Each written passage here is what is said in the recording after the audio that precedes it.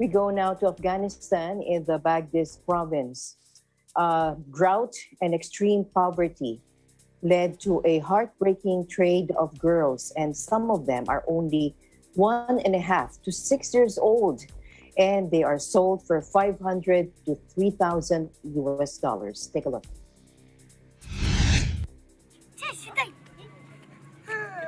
دغه زما لور ده د اتو کالو نجلۍ ده په درې لکه روپۍ ما د مجبورۍ ورکړې د وریجو د پورولو د لاسه نن سبا چې هغه هلک راشي بیرته زما څخه بیا یې دا دو نکاکه نجلۍ ما د مجبورۍ ورکړې دا خو نو ښه کار نه و چې ما دا دو نکاکه نجلۍ ورکړې وای خدای رسول خدای نه وای چې دو نکاکې نجلۍ واخلې ته یې خرڅې کړې دست من مرسی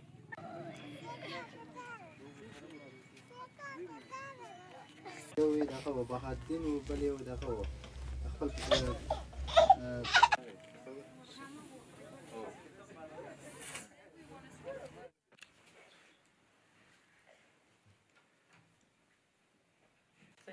Mesela onu dün, dün işe ne kadar دو تا دختر خو فروختم یک ده ساله یک نه ساله یکی هیدگوله یک سیامویه